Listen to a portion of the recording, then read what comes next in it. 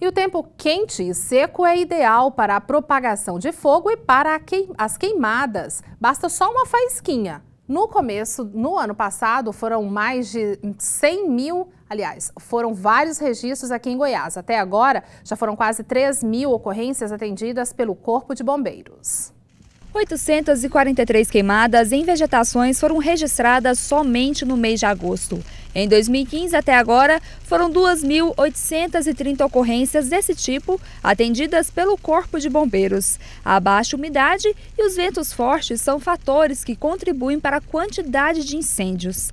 No ano passado, foram registradas 1.550 ocorrências de incêndios em vegetações somente no mês de agosto. No ano todo, de 6 mil. Agosto é considerado o mês mais crítico do ano no centro-oeste. Os meses de julho, agosto e setembro são onde a gente tem aí um aumento de mais de 300% no número das ocorrências dessa natureza. Então, a gente tem que reforçar as equipes e se preparar para passar por esse período. Além de deixar o tempo bem mais seco, os incêndios em vegetações e em estradas podem causar acidentes. Por isso, o Corpo de Bombeiros faz um alerta à população. A gente orienta a população para que não coloque fogo em lixo, em lote baldio nesse período.